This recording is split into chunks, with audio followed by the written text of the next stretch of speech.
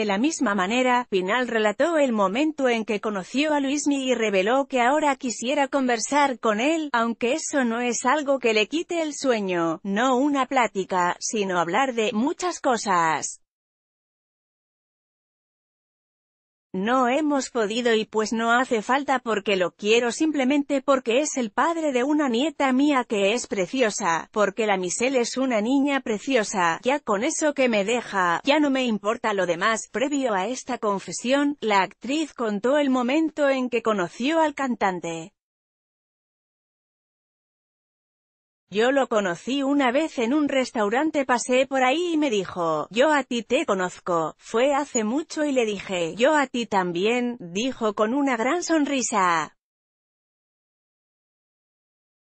manifestando que ella no ha visto ni verá la serie del padre de su bisnieta Michelle, es como la actriz deja en claro que prefiere enfocarse en lo bueno de la relación que hubo entre Stephanie Salas y Luis Miguel.